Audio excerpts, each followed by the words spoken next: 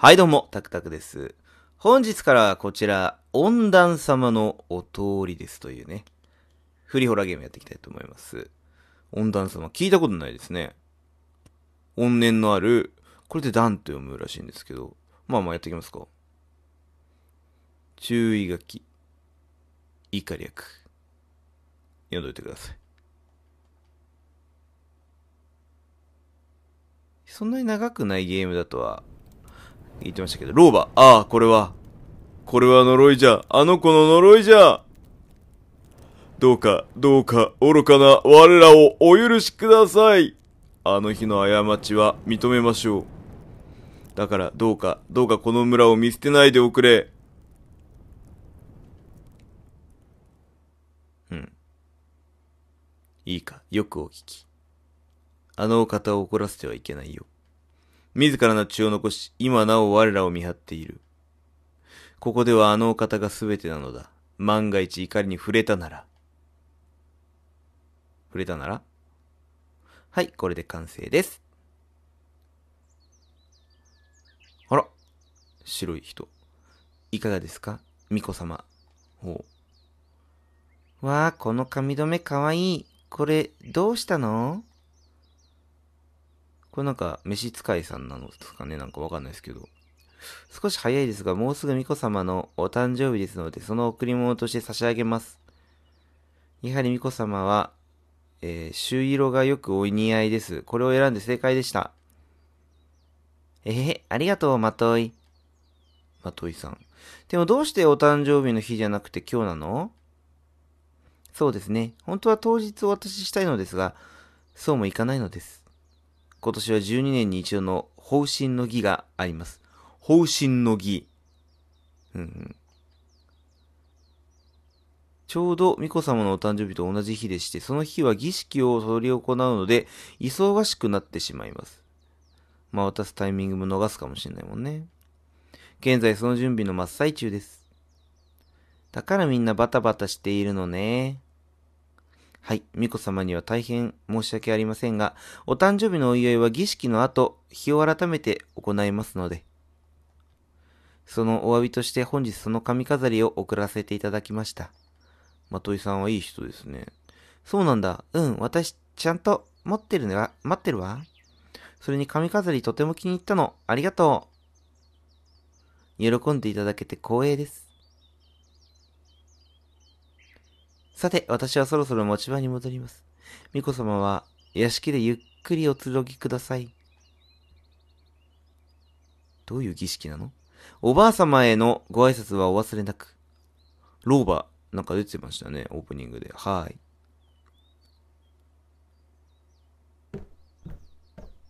まといさんはなんかミステリアスな人ですね。大事な用事があるのなら仕方がないけれど、毎年の楽しみを奪われちゃったみたいで寂しいな。どうして私のお誕生日と同じ日にしたのかしら？そういう習わしなんじゃない？そもそも。わからんが。まあいいや。ちゃんと後でやるよって言ってくれたし、もうすぐ12歳だもの。このくらい我慢できるもん。よし、早くおばあ様に会いに行こうと。まずおばあ様に会いに行くところからか。なるほど。えーと。あ、記録もできますね。持ち物。髪飾りとかは特にない。うん。これ、ジョージダッシュ、オンにしておきましょうか。え、これダッシュしてんの？してるっぽい。てか、ダッシュという概念がないのかもしれない。おばあさんはどこにいるんだろう？なんか紐があるよ、紐が。なんじゃこりゃ。とりあえず調べられませんね。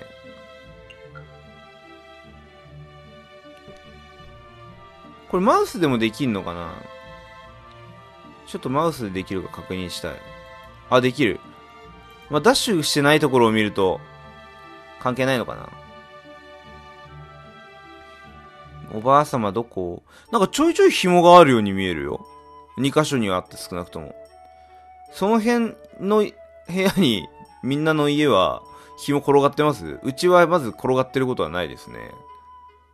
転がっているというのか、放置しておくというのか、神棚2つもあるよ。すごいな。どこ？おばあちゃんの部屋。ここかな？トイレっぽくない？こういうとこ。女性用のお手洗いだ。男性用もあるの？おばあちゃん、どこ？おばあちゃん。いねえな、ばあちゃん。いねえぞ。なんか、書き置きみたいのがあるけど。これはお手伝いさんたちの当番表かな？さっきのまといさんはお手伝いさんなんでしょうかね。うーん。ここ入れる？あ、入れる。えー、押し入れ？これは？あ、あ、わあ、何？仏壇的な？仏壇的なとこ？神棚かな？おばあ様おはようございます。夏希は今日も元気いっぱいです。ああ、おばあちゃん死んでんのか。よし、次はお手伝いさんたちにも挨拶に行かなきゃ。ばあちゃん死んでたんやな。お手伝いさんはお外？室内にはいない感じだったけど。でまだ見てないところがある、多分。この先とか多分、あ、あれ？あ、なるほど。で、なんか外にいるっぽい気はするよ。どう？ここから、あ開かないのか。食料庫か。こういうとこ関係ある？お手伝いさん。こっち行けない。神社があるってことね、多分ね。ちゃうんかな。神社。うわ、ここ早い。男性。ちょっとイケメンだった。あ、誰？カンナ。あ、おはようございます、ミコ様。おはよう、何してるの？カンナさん、可愛いですね。見ての通り、全力で屋敷の窓拭き中です。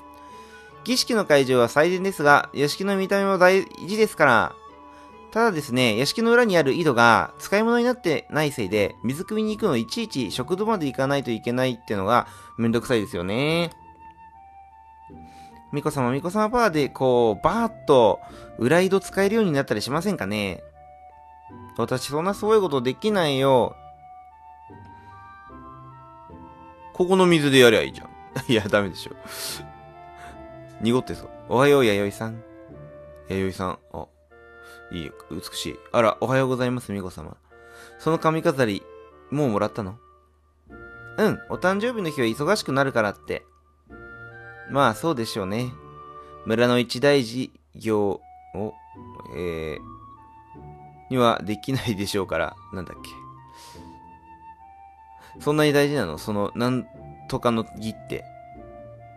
おろそかだね。おろそかにできないだったね、さっきの。この村の今後に関わることですから。特にまといさんにとっては必ず成功させなければならないことじゃないかしら。まといさんにとっては。あなたのおばあ様とも約束したみたいだし。そっか。まといさんとおばあさんの方が仲がいいみたいな。ここまでいけない感じか。これかわいいなこのマップ絵。全部自作ですね。見たことがないもん。勝手に出ちゃダメ。と一回戻ればいいのかなじゃあ。裏井戸みたいなところに行かなくていいの？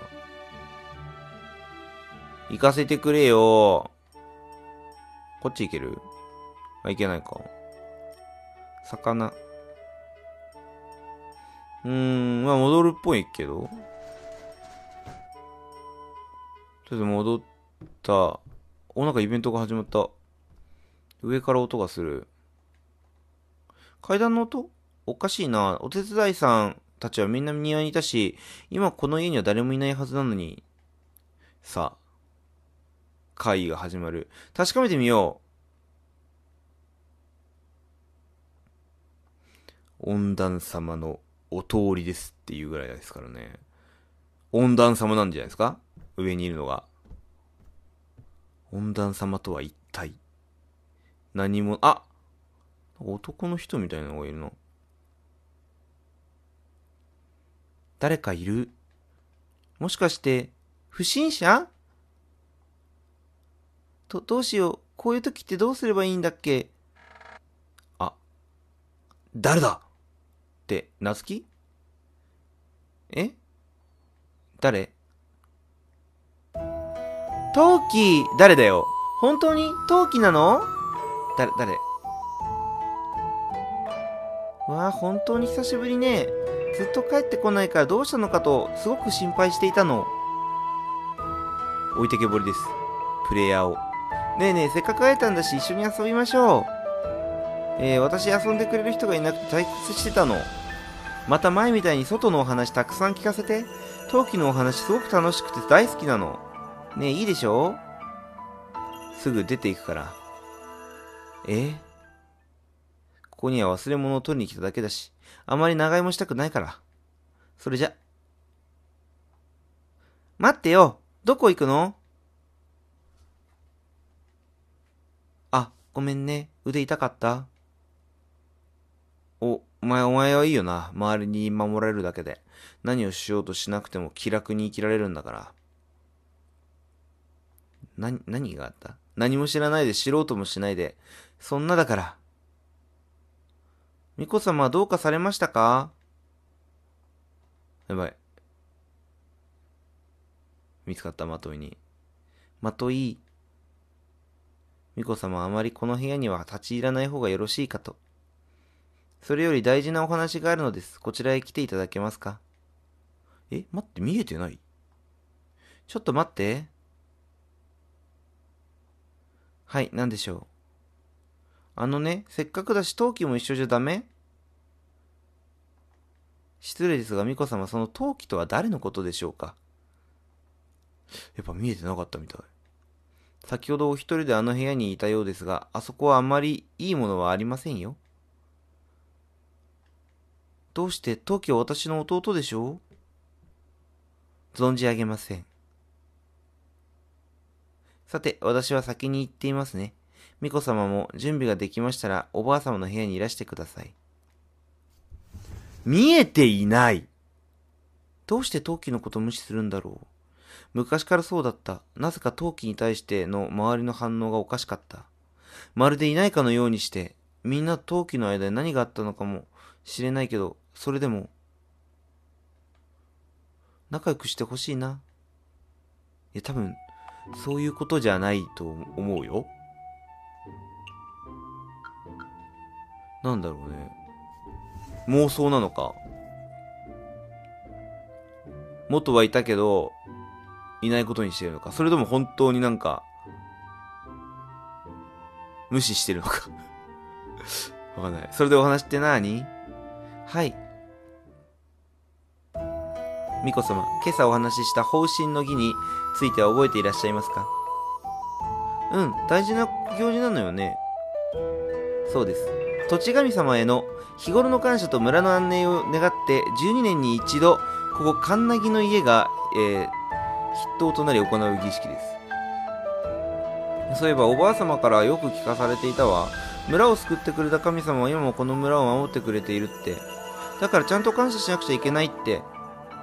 はいはいえー、はい儀式の最後に土地神様である温暖様土地神様なんですね、えー、感謝の祈りを捧げるのですがその役目は代々、えー、巫女と呼ばれるカンナギの、えー、娘が行っております。カンナギの娘って、あれ？それってもしかして、そうです。その最後の祈りを巫女様にやっていただきたいのです。カンナギの娘は今や巫女様一人だけですからね。えー、ちょ、ちょっと待って。そんないきなり私難しいことできないよ。ご安心ください。巫女様には簡単な作法を行っていただくだけですから。他のことは我々にお任せください。もちろん作法の手助けもきちんとさせていただきます。どうしても私じゃないとダメなの？そうですね。昔からの決め事ですから。それに、これはおばあ様の願いでもあるのです。おばあ様の。生前おばあ様は巫女様が方針の儀を、えー、執り行っている姿を見たいとおっしゃっていました。孫娘の一番の晴れ姿ですもの、さぞ楽しみだったでしょう。実際に見ることは叶わぬものとなってしまいましたが、それでも届けることはできると思うのです。これは私のわがままですが、おばあ様に巫女様の立派な姿を届けて差し上げたいのです。巫女様、どうかこの役目を引き受けてはいただけないでしょうか。全く断る余地がない。うん、いいよ。私やってみる。まあ、こうなりますよ。本当ですか？これだけお願いされちゃったら、ね。それにみんな頑張ってるのに私だけのんびりしてるのもなんだか気持ちよくないし、いい子やな。えーそれに、ちょっと嬉しかったの。私にもできることがあるんだって分かったから。みこ様ありがとうございます。うん、私頑張る。では、早速ですが、儀式の際に着用する礼服の試着をしに、祭殿へ参りましょう。清掃もそろそろ一ランクしている頃でしょう。あ、さっき掃除したとこだ？うん。新しいお洋服が着れるの？洋服じゃない気がしますけど。わーい。走ると危ないですよ。わ、本当に危ない。開いた。あ、ご、ごめん、大丈夫？う、うん。無礼者ひ怒られちゃった。巫女様に危害を加えるなどなんたるけど、身の程を知れあ、す、すみません。喋るな愚か者。貴様の犯した罪は重いぞ嘘でしょそんなにあんなに優しいまといさんが、激高している。まといさんどうかしましたか？はずき、いいところへ来てくれました。こやつ？ですが、あそこへ連れて行きなさい。けじめはしっかりとつけさせなくては。かしこまりました。あそこってまさか本当に？ほら行きますよ。早く歩きなさい。何されちゃうの？ちょっと、ぶつかったんじゃん。しかも自分から、お怪我はありませんが、あの者にはど、しっかりけじめをつけさせますどうか無礼をお許しください。えう、うん。あの人どこに連れて行かれちゃったの？大丈夫ですよ。気にすることはありません。怖い怖い。私どもが対処しておきますのでご安心ください。怖い怖い怖い。さあ早く祭壇へ参りましょう。びっくりした。まといもあんな風に怒ることあるんだ。でもちょっとぶつかっちゃっただけなのに、怒りすぎな気がする。ほんとね。あ、巫女様、どこかへお出かけですか？うん、祭殿でお洋服着るの。今度の大事な儀式で着るお洋服。えということは最後のあれは巫女様がやるんですか？うん。なんだ？ん？す、すごいじゃないですか、巫女様。大役ですよ、大役。あ、私も着付けの手伝いしましょうかなぜ一瞬暗くなった。それは助かります。ぜひお願いできますかわかりました。ではまた、後ほど。なんか、意味深な間が多かったり、ちょっとぶつかっただけの男の人が連れ去られ、名もなき男の人が 連れ去られて、処されちゃいそうな感じになっちゃったり、どういうことなのか。はい、この続きはまた次回よろしくお願いします。ではまた。